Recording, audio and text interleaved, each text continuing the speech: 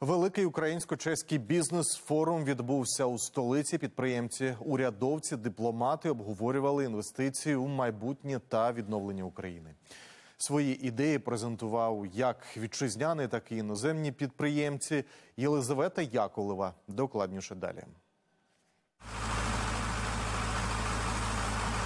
Цей будівельний майданчик радше схожий на виїзну лабораторію. Жодних великих бригад будівельників із мішками та інструментами. Робітників лише троє. А замість прораба оператор великого 3D-принтера. 58 мотогодин, і ми побудували будинок на 130 квадратних метрів. Невже це не вау-ефект для того, коли в нас стоїть завдання швидкої якісної відбудови? Є таке поняття як американська мрія, а ми хочемо зробити підтвердження української мрії, коли Україна може створити щось прекрасне, і водночас вона може цим собі допомогти. Управляти такою дивомашиною може навіть людина без профільної освіти, заявляють розробники. Жінка може управляти, студент може управляти, і водночас ми плануємо залучати людей з інвалідністю для того, щоб їм також допомогти соціалізуватися. Після перемоги Україні знадобляться десятиліття на відбудову. Переконані посадовці та фахівці будівельної галузі. Доведеться швидко шукати і технології, і кошти на відновлення. Допомогти з грошима обіцяють міжнародні інвестори. Ми допомагаємо Україні з самого початку великої війни. Ми розуміємо, що зараз у вас є проблеми з фінансами, тому ми готові вкладати гроші і допомагати. У Чехії, зокрема, чимало бізнесменів, які готові вкладати кошти в українську економіку навіть під час війни, наголошують у торгово-промисловій палаці України.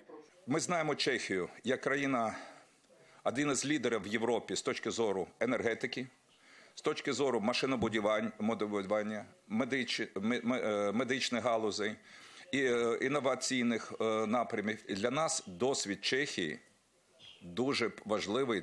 Один із найбільш перспективних напрямків майбутнього співробітництва України та Чехії відновлення енергетичної галузі, яка неабияк постраждала від обстрілів.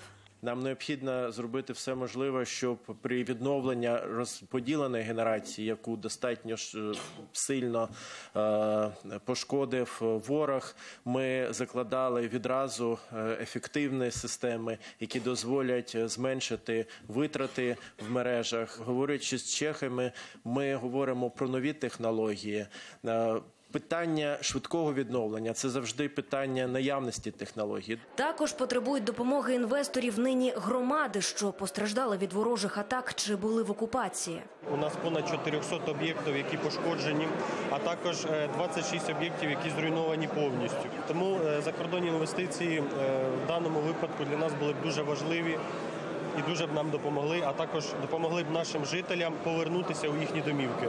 Утім, посадовці наголошують, Україна може зацікавити міжнародних донорів не лише як держава, що воює і потребує підтримки. Нам теж є що запропонувати закордонним партнерам-інвесторам.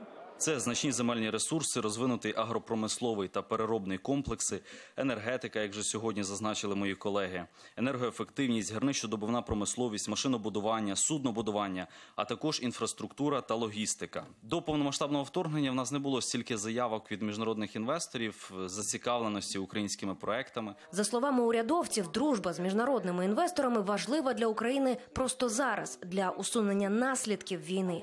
А також це вклад у розвиток уже післявоєнної України.